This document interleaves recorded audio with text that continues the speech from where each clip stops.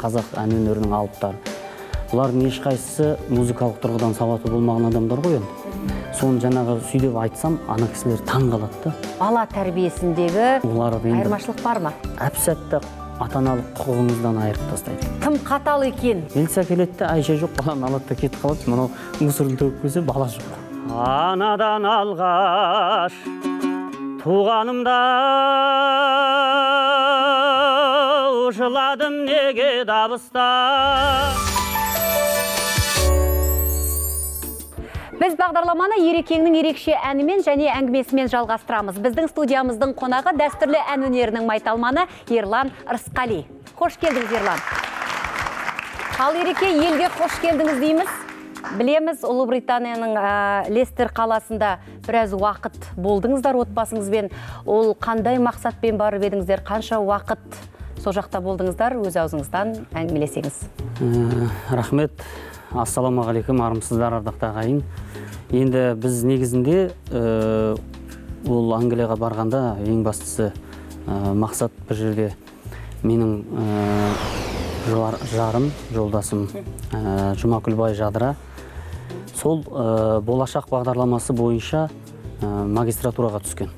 Енді ол біріншіден отбасы шағын мемлекет болса ол мемлекет ыдырамау керек. Қандай жағдайда бірге жүру керек деп.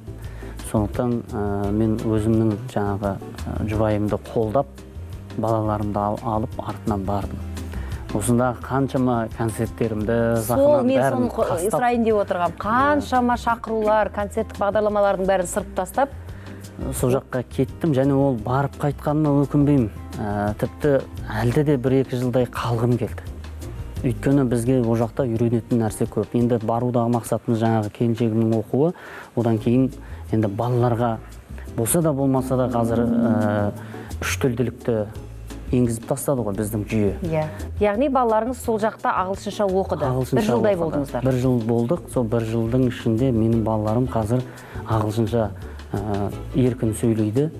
Ә, былай айтқанда жетік меңгерді бір жалпы тіл үйрену үшін қанша уақыт керек екен? Енді ол біріншіден адамның өзінің зейін қабілетіне байланысты және талабына байланысты. Енді мен өзім ә, жарты жылым ә, жаңағы бос әуремен өтті ол жақта. Ал жарты жылым енді таза мен осы ә, тілге қатты өзім көңіл бөліп жарты жылдың ішінде преинтермедиат деңгейге жеттім. Ой жақсы. Енді біз әлеуметтік желі арқылы бақылап отырдық. Сол кезде ой ерекеңнің бойы сыймай жүрген шығар елді сағынып жүрген шығар. Қалай ә, басқа басқа ерлан қалай жүр екен сыртта деп өзімізде сондай ой болды. Әлде елге деген сағыныш болған жоқ па? Ә, болады ғой ол. ә, жаңағы ер туған жеріне ит тойған жеріне дейді ғой. Иә. енді ол сол кезде қолға домбыраны алып қолға домбыранды аласың да өзі ә, домбыра өзі қай кезде де мен қазақпын деген адамның шері мен шаттығын қақ бөлісіп келе жатқан аспап қой енді.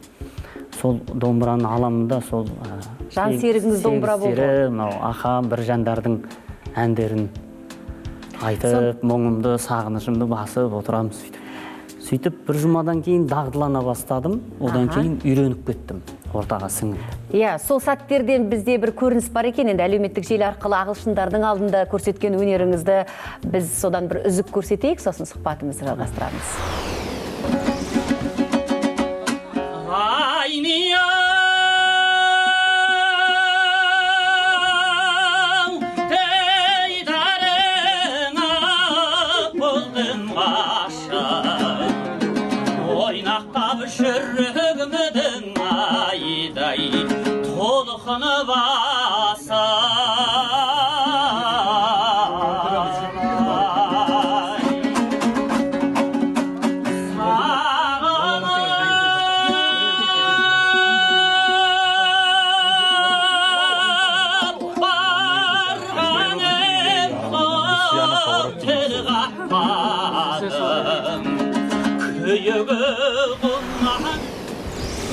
Осы видеодан бір байқағанымыз барлығы қолдарына ұялы телефондарын алып түсіріп яғни өте жақсы қабылдап жатыр.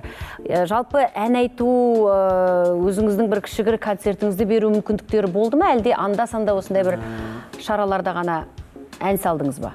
Ә, мен ол жақта ә, бір кісідей сұранысқа ие болдым. Ә, біраз ағылшындар ә, ағылшын музыка мамандарымен таныстым. Ә, олардың ұйымдастыруыменен бір кішігірім концерттер болады сосын кездесулер болады. Сосын біздің қазақтың ә, дәстүрін мынау ұлттық әнімізді таныстырып оларға қызық та. Әрине ұлттық ән Ә, сонда олардың барлығы таңғалып жатқаны енді мынау ақан серіңізде сегіз сері бір жан болсын қай қайсысын алмасақ та біздің қазақ ән өнерінің алыптары. Бұлардың ешқайсысы музыкалық тұрғыдан сауаты болмаған адамдар ғой енді. Соны жаңағы сөйдеп айтсам ана кісілер таң қалады да. Бұл қалай сонда музыкалық сауаты жоқ бірақ мынадай шедеврлар дүниеге алып келеді. Мен айтамын енді ол сіздердің композиторларыңыз ә, біліммен машықтанып ә, шығарма жазуға бейімделген шығар. Ә, бізге құдайдың берген бақыты сол. Дүниеге композитор болып әнші болып келеді. Сол ән айтатын кезінде көктен бір құдірет күш береді де сонымен тың дүние туады деп айтып жатсам таң қалып жатыр да. Сосын бұл мектеп қалай жетті сіздерге? Мен айтамын бізге 19 20 ғасырдың ортасына дейін бізде консерватория деген атымен болмаған нәрсе. Ә, соның барлығын енді біздің қазақтың жаңағы білім беру жүйесін түгелін айтып жатсам таң қалып ә, ауыздан ауызға жетті есту арқылы ұстаздың алдынан ә, тікелей батасын алып ба- батаның рөлін айтып деген сияқты нәрселердің бәрін айтып түсіндірдім оларға. Енді олар ғажап қабылдады. Сондай ақ енді біздің бағдарлама ана мен бала болғаннан кейін ә, бала тәрбиесіндегі ә, қандай ерекшеліктерге куә болдыңыз? олар енді айырмашылық бар ма? Ол енді ол жер мен көктей баланы олар бетінен қақпайды. Ә, біз сияқты тыйып салмайды еркін жібереді. Ә, сосын көшеде балаға дауыс көтермейсіз жұлқымайсыз баланы. Егер дауыс көтеріп ә, егер бір қолын қағып кішкене қол көтеретін болсаңыз сол жерде көріп тұрған адам сіздің үстіңізден полицияға шағымданып сізді әп сәтте ата аналық құқығыңыздан айырып тастайды. Міне қызық. Өте қатал ол жағынан. Одан кейін баланы біз мысалы қазір өзі астанада тұрып жатырмыз ғой енді. Аулаға шығып келсін деп өзін жібере саламыз біз. Иә. Үйдің жаны ғой аулаға шығады да ойнайды да келеді. Ол жақта үлкен адамның қарауынсыз бала жүрсе ол баланы бірден жетімдер үйіне алып кетеді балалар үйіне. Сұрамайды білмейді бірден. Бірден алып кетеді. Яғни бала жеке өзі жүруге болмайды. жүруге болмайды. Сосын сізді жаңағындай тағы да айналып келгенде ата аналық құқығыңыздан айырып тастайды біздің бір көршіміз болды ә, ираннан келген ә, мұсылман. Енді ә, сол ә, сол кісінің әңгімесі біз баламызбен алғаш келген кезде ана кісі айтып жатыр да балаңды тастама үйге жауып кетіп қалма баланың қасынан қалма. Сосын енді сұрады ғой мұны неге өйтіп айта бересің? Анау қорқып қалған адамның несі көрініп тұр да? Иә иә. Сосын не болды бұл? Адам жей ма бұл жақта деп жоқ ол ондай емес дейді. Сен балаңнан айырылып қаласың дейді. сөйтсек ол кісі ә, өзінің баласына жаңағы дұрыс қарамағанда енді ол қоқысты төгем деп қоқыс бірінші қабатта тұрады. Иә. көп қабатты үйде бірінші қабатта сыртқа шығып бара жатқан кезде сыртқа далаға шықпайсыз бірақ сол ә, дәліздің сол жағында енді арнайы орны бар. Сол ана кісі ә, біз ә, екінші қабатта тұрдық. Ана кісі көршіміз. Енді бірінші қабатқа қоқыс тастаймын деп түсіп кеткен ғой. Сосын баласы шығып артынан шыққанда ана ли- лифтінің қасына келіп тұрған. Оны ана камерадан барлық жерде камера ол жерде. Ана камерадан көріп қойғанда милиция шақырып жүрген ана бала қараусыз жүр коридорда жүгіріп жүр. Милиция келеді де әйше жоқ баланы алады да кетіп қалады мынау мусорын төгіп келсе бала жоқ тым қатал екен тәртіптері? Иә, сонда содан- барлық үйлерде камералық бақылау? Барлық үйлерде. Сосын баласын алып кеткеннен кейін ә, астынан барып енді бұл іздейді ғой милицияға звондайды Иә. айтып, сонда айтады осындай осындай бала ма аты жөні? Иә иә ойбай онда келіңіз дейді сосын барады. Сосын екі апта ит әуіреге салады ғой екі апта баласын бермей қояды ананың. Соны ол өзінің иракқа қайтадан хабарласып туған туыстарынан мынау жақсы ата ана жұмыс орнынан мынау керемет ата ана мынау осының баласы деген өз сау басына сақина тілеп алды. Сөйтіп соның бәрін жаңағы мінездемелерді жинағаннан кейін барып ана екі аптадан кейін баласын берген. иә әлеуметтік желіде бала шағаңыздың қасында жүргеніңіз сол екен ғой. Иә. балаларға еркіндік береді дедік. Ал баланы ол бала ғой. Иә. Дер кезінде қағып отырмасаң дер кезінде тыйым салып ненің дұрыс ненің бұрыс екенін айтып отырмасаң бетімен жіберуге тағы болмайды ғой. Бұл қайын бұның шегі бар шығар бұл еркіндіктің сонда. Ә, олар бәрін сондай бір асқан сабырлықпен баппен түсіндіреді балаға. Сіздің ойыңызша біздің қоғамда бала тәрбиесінде не жетіспейді? Бізде баламен еркін сөйлесуіміз керек та. Негізі бұрынғы ата бабамыз біздің ол жағын қатты білген ғой.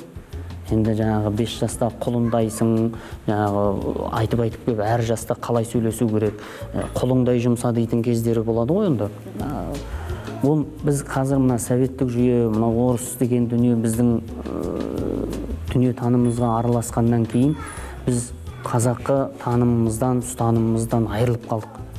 Ә, ол әрі қайтып оны жаңғыртып алуымызға болады. Біздің қазақтың қазір көбісі өз пікірін айта алмайды. Ол шындық қой. Өйткені бізде ұят болады ұят болады деп тыйып тастайды. Баланы. Ал совет үкіметінің тұсында ә, бұрынғы қазақ қалай істеген? Ауылға бір беделді адам келсе ұлы үйден шығып атының тізгінін ұстап жетектеп атын байлауға байлап одан кейін оны қолтықтап түсіріп үйге кіргізіп жанында күткен оны. Кісі күту біледі да. Иә. Ал кеңес үкіметі қалай келді? Дастарханға арақ қалай тұрды? Біздің ол енді әке шешеміздің сақтығы енді. Ана арақты балалар көрмесінші деді де келген қонақтан алып тастады баланы. Ол адаммен араласпайтын болып қалды.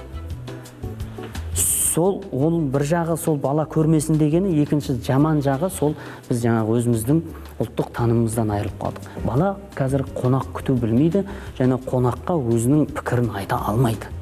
Бірақ еркін өсіп келе жатқан сияқты қазіргі балалар. Тым еркін? мына тәуелсіздік алғаннан кейін қазір еркіндік келе жатыр. Бірақ жүйесіз еркіндік келе жатыр. Ұлттық идеологияны жақсылап тұрып қолға алып соныменен жетелеп баланы тәрбиелеу керек. Енді осы әдемі сұхбатымызды бір әдемі әнмен жалғасақ. Енді бүгін ә, мен негізі домбырамды ала келмеп едім. Мынау менің домбырам емес ә, сәл шабандау домбыра екен. Шабан атқа мінген жаман болады ғой ол адам көңіл күйіне әсер етеді. Бүгінгі мынау ә, хабар ана мен бала болған соң шәкәрім атамыздың анадан алғаш туғанымда деген әнін айтып берейін.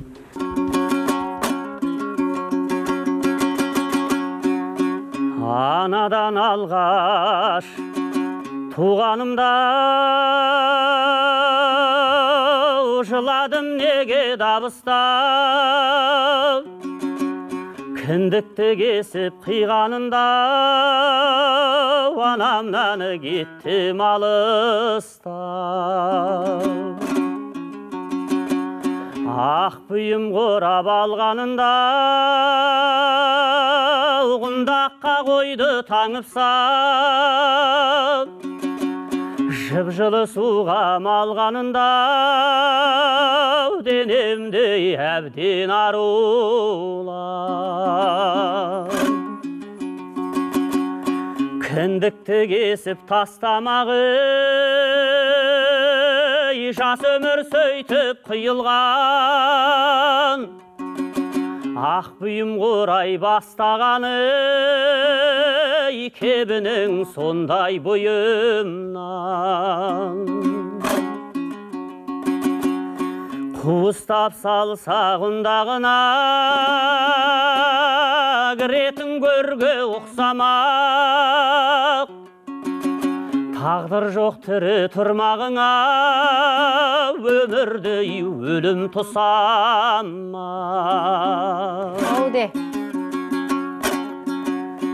еңбекке шыда ебін тапта сабырдың түбі саралтын. Өзімшіл болма көп